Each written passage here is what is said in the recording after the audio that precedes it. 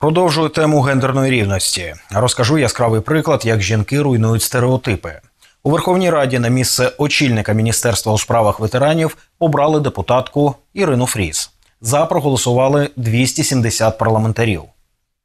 Щиро дякую за довіру і сподіваюся, що виправдаю її на всі 100%, адже попереду в нас з вами дуже багато роботи для того, щоб Міністерство у справах ветеранів було зірковим і е, прикладом для того, як має працювати міністерство, захищаючи інтереси і права ветеранів. Воно має стати лобістом наших ветеранів у виконавчій влади. І я докладу до цього всіх зусиль.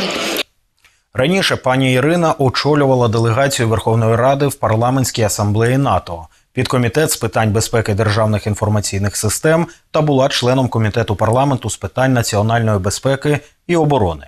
Ірина Фріз заявила, що в повному обсязі відомство запрацює у червні наступного року. Насамперед планує створити єдиний державний реєстр ветеранів та онлайн-кабінет для них.